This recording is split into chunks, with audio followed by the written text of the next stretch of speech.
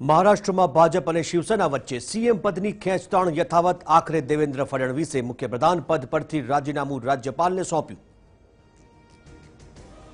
ગાંધી પરિવારની એસપીજી સુરક્ષા હટાવાઈ એસપીજીને બદલે હવે સીઆરપીએફ કમાન્ડોની મળી જેડ પ્લસ સુરક્ષા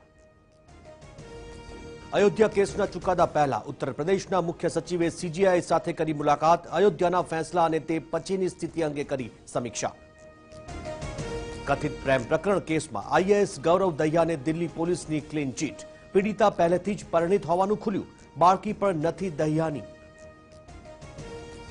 બહુચર્ચિત બિટકોઇન કેસમાં સીબીઆઈના ઇન્સ્પેક્ટર સુનિલ નાયર સામે કેસ દાખલ શૈલેષ ભટ્ટ પાસેથી ચાર કરોડની ખંડણી લીધાનો આરોપ